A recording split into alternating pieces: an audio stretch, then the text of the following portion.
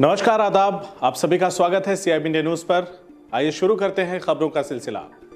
UP के बलिया में आकाशीय बिजली की चपेट में आकर दो की मौत। मरने वालों में एक बालक और एक बच्ची है। घटना के वक्त दोनों लोग अचानक आई बारिश से बचने के लिए पेड़ के नीचे खड़े थे। तभी आकाशीय बिजली की चपेट में आकर झुलसने से मौत हो गई। सिकंदरपुर थाना क्षेत्र के मालदा गाँव की घटना है।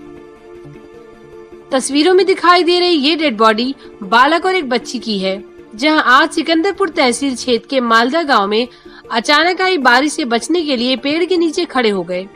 तभी अचानक आकाशीय बिजली कड़की और सुधांशु उम्र 14 साल के साथ ही प्रगति उम्र साल की चपेट में ले लिया। आकाशीय बिजली से झुलस जाने के बाद प्रगति और सुधांशु दोनों को प्राथमिक चिकित्सालय सिकंदरपुर ले जाया गया, जहाँ चिकित्सकों ने दोनों को मृत घोषित कर दिया है। जैसा कि मुझे संज्ञान में लाया गया, सिकंदरपुर एरिया में दो बच्चे बारिश से बचने के लिए पेड़ के नीचे खड़े थे और अकस्मात आकाशीय बिजली गिरी पेड़ के ऊपर, जिससे उनकी तत्काल संभवतः वहीं मृत्यु हो गई होगी, क्योंकि वो उनको अस्पताल ले जाया गया सिकंदरपुर अस्पताल में तो वहाँ के अटेंडिंग डॉक्टर ने देखा तो वो मृत पाए गए।